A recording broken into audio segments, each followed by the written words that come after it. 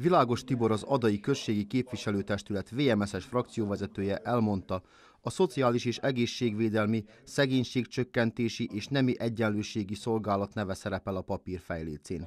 A levelet a Városháza egykori munkatársa, a szolgálat volt vezetője, Vesna Civrich írta alá. A frakcióvezető elmondása szerint ilyen szolgálat volt, de már nem létezik, mert egy módosító szabályzattal ezt már megszüntették.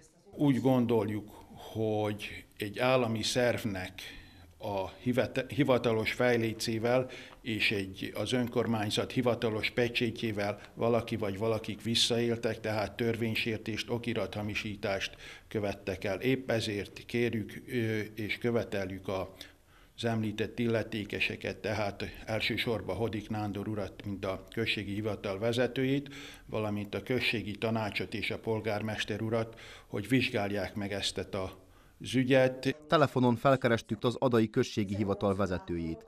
Elmondta, hogy neki az ügyről nincs tudomása, ugyanis ő július 14-e óta szabadságon van, és mivel a levél augusztus 5-én kelt, ezért nem tud nyilatkozni az ügyben. A levelet Vesna Civrich írta alá, aki június 1-től nyugdíjas, azonban előtte a Szociális és Egészségvédelmi, Szegénységcsökkentési és Nemi Egyenlőségi Szolgálat vezetője volt. Én, mint volontőr dolgozok abszolút anyagi, mióta elmentem nyugdíjba, én nem kapok semmit az önkormányzattól. Ugyanúgy járok dolgozni, mint amikor fizetést kaptam az önkormányzatban, és ezt is azért csinálom, mert úgy érzem, hogy egy ember elmenetével nem kell megállni. Mert ha valami jól működik, és ezt mindenki elismeri, akkor ennek továbbra is dolgozni kell. A szolgálatot önkéntesként továbbra is Veszna Civrich vezeti.